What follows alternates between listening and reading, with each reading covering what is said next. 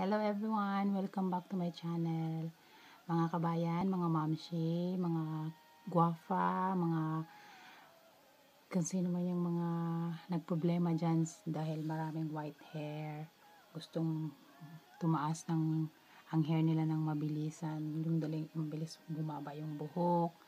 At saka nagproblema may split ends, at saka maraming dandruff. Lahat ng klaseng problema sa pag-aalaga ng hair ang video ito ay para sa iyo. Tada! Umpisa na natin. Alam nyo kasi, ang aking buhok is, pinutulan ko siya last December 2018. Tapos, pinariban ko po siya kasi ngayong hair ko is tikwas nga siya, dull hair. So, ang ginawa ko, pinariban ko siya yung December 2018. So, until now, ma pinutulan ko siya mga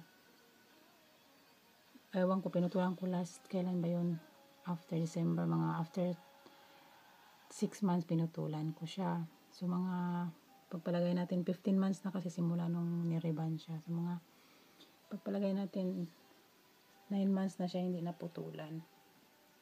So, ito na siya kahaba. Ang bilis humaba kasi nga may sekreto ako. Ito ang bigay ko sa iyo ang tips. Kaya ginawa ko itong video ito para ma-share ko naman kung ano yung kaalaman ko para sa mabilis humaba na buhok, walang split ends, malusog na buhok, shiny, smooth, and healthy. so, ang sikreto ko ay taran, ano ito guys, olive oil. Olive oil siya. Tapos, ang gawin ninyo, kasi ako nag-wash ako ng hair is every 2 days. So, bukas mag-wash ako ng hair. Kailangan ko ngayon ilagay gabi na kasi overnight ko siya nilalagay sa hair ko. So, ang gawin natin, turuan kayo paano ilagay. Ganito. Gamit kayo ng ganitong suklay.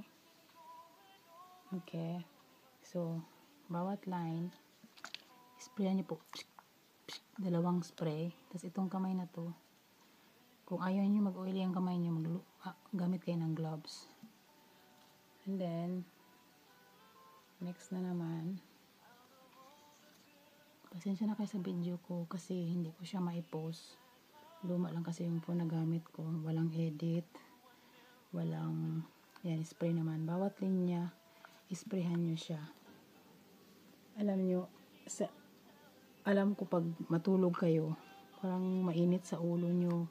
Kasi nga overnight siya. Pero ako sanay na ako eh. Wala, okay na lang, okay lang sa akin. Pero kung pwede naman gawin nyo sa umaga habang naglilinis kayo, habang ano, kasi kaso dito mahirap kasi sa umaga eh, ma, ano, ma, maano yung amo ko, kasi magtaka siya bakit nagawin lang hair ko. Tapos mga alaga ko rin, minsan napapansin nila yung one time na nag-oil-oil ang buhok ko, hindi ako nag, ginawa ko siya umaga. To. So ang ginawa ko na lang, mas convenient sa akin kung gabi, before ako matulog, ina-apply ko na siya. Tapos, yan, maganda kasi siya kasi smooth talaga ang buhok mo. Tapos yung dandruff mo, na moisturize yung hair mo, yung skull mo. Kaya ginagawa ko every 2 days. Yan, bukas mag-wash ng hair. Tapos ngayon lalagyan ko na siya. So, bawat line, hindi lang gamit ng suklay kasi nagmamadali ako kasi ayoko na medyo humaba pa yung, yung video ko.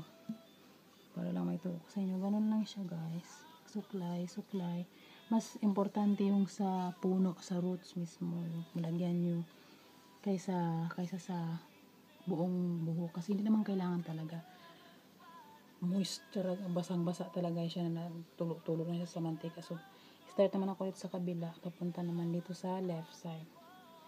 Sa right side, tapos na. Hindi naman sa talaga nga ang dami kong white hair. Alam mo, kung hindi ako, alam nyo guys, kung hindi ako naglalagay ng ganito, na-try ko kasi siya na hindi ako naggumamit ng for one week ng olive oil. Ano lang ginamit ko, conditioner lang. Sa picture, pag mag-selfie ako, nandyan, kitang-kita, nagiging visible siya. So, at least kung itong ginagamit ko, hindi siya masyado halata na may white hair. Unless kung i-open ko siya ng ganyan, kitang-kita mo. Pero kung nakalugay ang buko na ganyan, hindi talaga siya kaya masyadong halata. Unless kung lapitan mo siya. So, dito na ako ba na sa likod. Kaya lang, usap-usap lang tayo habang nag-ano. Kasi ang ginagawa ko sa gabi para hindi ako naboboard. Kasi ako lang mag-isa sa kwarto ko. habang nanonood ako ng news, ginagawa ko yan sa hair ko. Sa susunod, next time na video, turo ko sa inyo paano. Yung, kasi marami akong varicose guys. Marami akong varicose. So, ang ginagawa ko para malesen yung varicose, may nilalagay din ako sa varicose tuwing gabi, minamassage ko. Sunod ko na video, kaya please like, share, and subscribe guys for more video updates. So, ito na, natapos ko na yung skull ko, yung mga roots niya, tapos ko na nalagyan. So, ang gawin ko naman para medyo malagyan yung, yung dito na one part, ginagawa ko, lagay ko sa palm. Isang spray or dalawang spray. Ganyan-ganyan lang siya. Hindi naman talaga kailangan talaga na basa talaga lahat. So, ganyan. Ganyan-ganyan mo siya. Tapos, suklay-suklayan mo lang siya kasi para ma ma-share, kumbaga pa, malagyan din yung iba na wala nalagyan. Tapos sa, sa gabi, just ang gawin mo pag ako matulog, tanong, ang tanong ngayon, paano ako matulog na may oiling buhok, buhok ko? Kung sa araw, pwede niyo mo yung gawin, ibalot nyo siya ng plastic. Yung supermarket bag lang, or kahit anong plastic na meron kayo na pwede. Para ma-moisturize talaga siya, mapenetrate talaga ng olive oil mismo sa roots niya. Tsaka ma, ma-steam siya konti for 1 to 2 hours kung hanggang kailan kaya nyo. Basta more than 30 minutes to 1 hour, okay na nga siya eh. Pero kung gusto nyo talaga na mas effective, habang naglilinis kayo for 2 to 3 hours, okay. Tapos, banlawan, with shampoo na siya. Alam nyo, ang resulta, pag matuyo na yung hair nyo, kahit wala kayong conditioner, para kayong nag-conditioner, sabihin ko sa iyo guys, napaka-smooth ng hair nyo. Tapos, tingnan yung buhok ko kay December 8, 2018 pa yan na-riban hanggang ngayon. Straight pa rin siya. Tapos, ang gawin nyo, ganito na, ilagay nyo siya in one side. Tapos, ang gamitin nyo na damit, yung luma na napangtulog. Kasi, syempre, medyo ma-oily. Oily, hindi naman siya big. Kahit ako, hindi naman masyadong nagdumidikit talaga sa buhok. Kasi, hindi naman talaga siya as in oil talaga, oh. Parang ano lang. Kasi, ang importante dito talaga sa ulo, sa may roots, ang lagyan nyo ng talagang olive oil.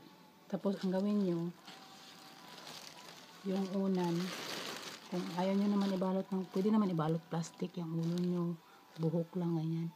Okay na. Kaso lang, mainit masyado sa gabi pag natutulog kayo. So, ang ginawa ko, try ko rin kasi for about 6 months ago. So, ang ginawa ko, yung malaking bag, laundry bag, ibabalot ko yung ulan ko. Pinasok ko sa loob. Ayan. Ayan.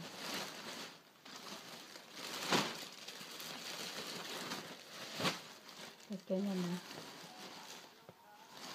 Ayan. Kaya na ako matulog. Maingay lang siya. Kaso lang, at least hindi malagyan ng oil yung yung unan mo, di ba? Maingay lang siya sa gabi pag matulog. Pag mag-change position ka, maingay. Obserbahan yung buhok ko, ang haba ng. May straight yan siya kahit ano. Hmm. Hindi yan siya magdikit sa hair, sa damit ko kasi ang hindi talaga siya as in basa talaga. Parang na-moisturize lang siya konti. So, ganyan lang po siya kasimple. Tapos bukas ng umaga, bago ako mag-start ng work, mag-CCR talaga ako maliligo. Talagang ang ganda talaga guys. Sabihin ko sa iyo. Matagal na to 15 months na ang buhok ko na after na ribbon. Ang ganda pa rin siya. Thank you for watching guys. Sana po nagustuhan niyo ang video ito at saka na nakatulong ako sa may mga pangarap na humabang buhok na smooth, healthy without it split ends, split ends, sorry. Na malusog siya tingnan, hindi yung dry, dull hair. Talagang nice ang resulta niya sa olive oil.